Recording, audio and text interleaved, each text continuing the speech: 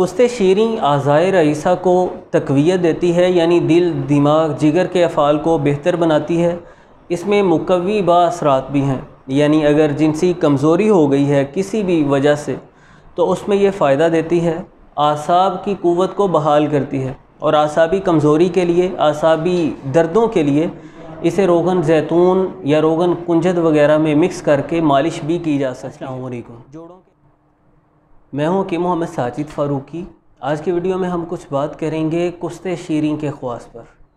और बदलते हुए मौसम की मुनासबत से ये वीडियो बहुत अहम है, क्योंकि मौसम के बदलाव के साथ जो मोस्टली मसाइल बनते हैं, उन सब का भी ये बेहतरीन इलाज है। इसकी अहमियत समझने के लिए आप सबसे पहले एक रिवायत सुन लीजिए। अनस बिन मालिक रसी अल्लाह तु बयान करते हैं कि सल्लल्लाहु अलैहि वसल्लम ने फरमाया इन अफ़ वाला तदावई तुम बिही अलहिजामत वलकुस्त। तुम जिन चीज़ों के साथ इलाज करते हो, इलाज के लिए जो भी तदाबीर इख्तियार करते हो, उनमें से बेहतरीन, सबसे उम्दा और शानदार चीज़ें हिजामा और कुस्त है। तो इससे आप अंदाज़ा लगा सकते हैं कि ये कितनी ख़ास चीज़ है और किस कदर फ़वाद से भरपूर हो सकती। है तो अपनी इस वीडियो में मैं मुख्तसर आपको इसका तारुफ़ करवाने की कोशिश करूँगा, ताकि आप घरेलू तौर पर इससे इस्तेफ़ादा कर सकें। ये मेरे सामने कुस्त पड़ी हुई है दो किस्म की। ये आप देख रहे हैं कि सफ़ेद है, जर्दी माइल। इसे हम तोड़ेंगे भी तो ये अंदर से भी सफ़ेद जर्दी माइल है। इसकी गंडियाँ, ये जड़ें हैं एक बूटी की। तो ये आपको पंसार से थोड़ी मोटी इससे मिल सकती हैं या इससे थोड़ी बरीक मिल सकती हैं। कुछ इस तरह की साख्त होती है इसकी। और इसी के ख्वास पर हम बात करने वाले हैं। ये दूसरी कुश्ते तलख है। ये आप देखें कि स्याही माइल है, ये थोड़ी गहरी है और ये उससे थोड़ी मदम है। इसे भी पाउडर करें तो तकरीबन जरती माइल रंगत का ही पाउडर होता है, लेकिन कुछ गहरा होता है। ये भी बड़ी शानदार चीज़ है। लेकिन आज के वीडियो में हम कुश्ते शीरी, जिसे कुश्ते बहरी और कुश्ते अरबी भी कहा जाता है, पंजाबी में कुठ के नाम से जानी जाती है और इंग्लिश में इसे कॉस्टस रूट कहते हैं। इसके फ़वाद पर बात करेंगे। इसका मिजाज गर्म खुश्क होता है। तीसरे दर्जे में गर्म खुश्क है। कुश्ते शीरी गले की इन्फेक्शन के लिए, सोजश के लिए, खांसी, नज़ला, ज़ुकाम के लिए बड़ी इफादियत रखती है और खसूसियत से मुफीद है। मौसम के बदलाव के साथ खांसी वगैरह की अमूमन शिकायत हो जाती है, नज़ला ज़ुकाम हो जाता है या बलगमी मवाद ज़्यादा पैदा होना शुरू हो जाता है। तो ऐसी सूरत में आप इसे पीस लीजिए, पाउडर बना लीजिए। एक से दो ग्राम सुबह शाम ये पाउडर खाया जा सकता है।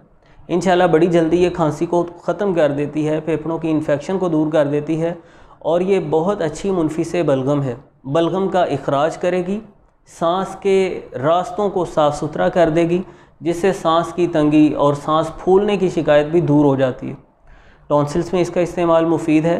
बच्चों के ये हदद मुतवरम हो जाते हैं, सोजश हो जाती है। तो कुछ निगला नहीं जाता, खाया पिया नहीं जाता, बुखार रहना शुरू हो जाता है। ऐसी सूरत में कुश्ते शीरी के साथ आप बराबर मकदार में कलवंजी शामिल करें। 30 ग्राम अगर आपके पास कुश्ते शीरी है तो 30 ग्राम ही कलवंजी ले लीजिए। इन्हें पीस कर पाउडर बना लें और इसमें इस सफ़ूफ से डबल मकदार, यानी ये 60 ग्राम आपके पास सफ़ूफ बना है, इसकी डबल मकदार 120 ग्राम शहद शामिल कर लीजिए। ये आपको चाट कर इस्तेमाल करना है। तो इससे इन बड़ी तेज़ी के साथ फ़ायदा होना शुरू होगा। गुदत की सोजश भी ख़त्म होगी और सांस की तंगी भी दूर होगी। टॉन्सिल्स की वजह से जो बुखार रहता है, वो शिकायत भी दूर हो जाएगी। कुश्ते शीरी को जोड़ों के दर्दों में भी इस्तेमाल किया जाता है। वाजुलमफासल हो, बड़े जोड़ों का दर्द हो या छोटे जोड़ों का दर्द हो या इरकुन निसा, जो कि गलबा बरूदत के पायस बदन में रतूबात की ज़्यादती के बायस पैदा होता है। एक टांग में, दाई टांग में या बाई टांग में शदीद दर्द रहना शुरू हो जाता है। तो उसके लिए भी आप कुश्ते शीरी को इस्तेमाल कर सकते हैं। एक से दो ग्राम सुबह शाम खा सकते हैं या शहद में हल करके इसकी चटनी या माजून टाइप इसे बनाकर इस्तेमाल कर सकते हैं। बुखारों में इसका इस्तेमाल बहुत मुफीद है। बारी के बुखार के लिए ख़ास तौर पर ये बहुत इफ़ादियत रखती है। ये इम्यूनिटी को बहुत ज़्यादा मज़बूत करती है। एंटीऑक्सीडेंट्स से भरपूर होती है। बदन से फ्री रेडिकल्स को ख़त्म करती है। निज़ाम इन्हज़ाम को बहुत बेहतर कर देती है। डाइजेस्टिव सिस्टम को बड़ा इम्प्रूव करती है। हज़म का निज़ाम ठीक हो जाता है। हज़म के तकरीबन किसी भी तरह के डिसऑर्डर में इसे इस्तेमाल किया जा सकता है। गैस तबखीर की शिकायत को दूर करती है, जिगर के अफ़ाल को भी बहुत मुनज़म करती है।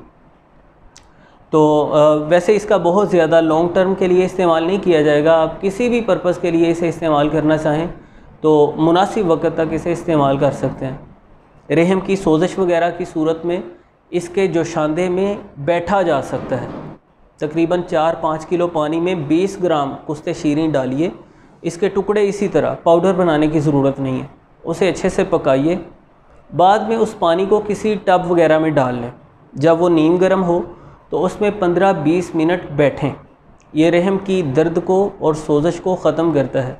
हैज़ का इदरार करता है, यानी अगर रहम की सोजश के बायस मेंसिस टाइम पर नहीं आ रहे या बड़ी तकलीफ़ के साथ आ रहे हैं तो इन वो सोजश दूर हो जाएगी और मेंसिस सहूलत के साथ आ जाएँगे।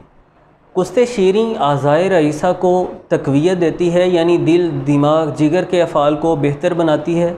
इसमें मुकवी बासरात भी हैं, यानी अगर जिनसी कमज़ोरी हो गई है किसी भी वजह से तो उसमें ये फ़ायदा देती है।